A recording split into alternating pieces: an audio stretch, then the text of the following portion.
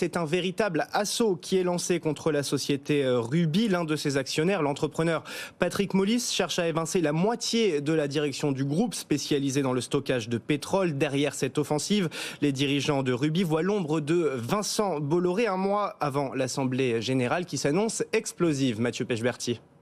Le raid est d'une violence inédite. L'entrepreneur Patrick Mollis a pris 5% du capital de Ruby fin mars, alors que le cours de bourse a chuté de moitié en 4 ans. Silencieux depuis, il vise aujourd'hui à nommer la moitié des membres du conseil de surveillance. La direction juge cette offensive hostile et s'étonne que son ancien concurrent ne présente aucune stratégie alternative.